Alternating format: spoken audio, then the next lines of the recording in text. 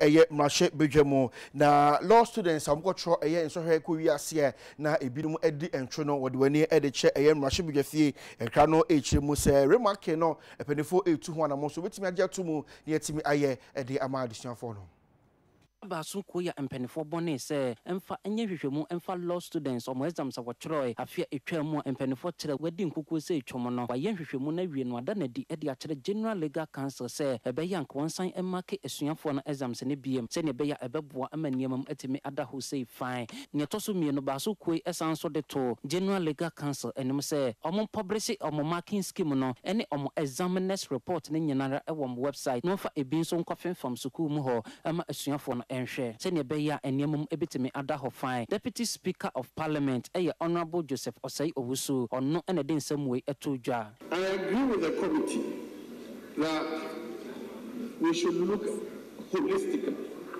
at legal education in particular. I'm scared of the attempt to say allow any institution to train people and you just conduct the exam.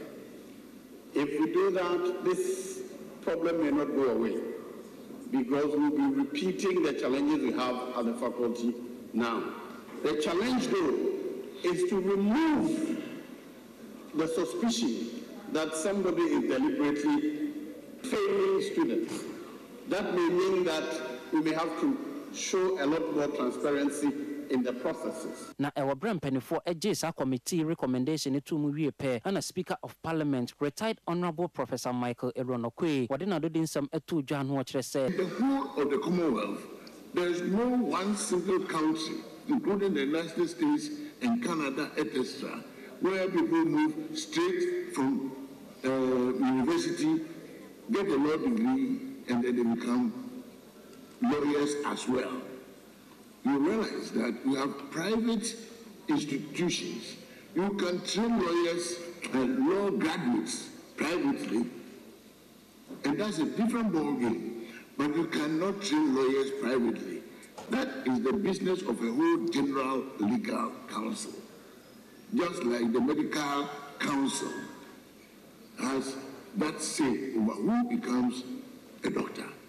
And the idea, among others, is that look at a person who, when a man is dead, comes to say, This is his will, I made it, and the man will then speak from the dead.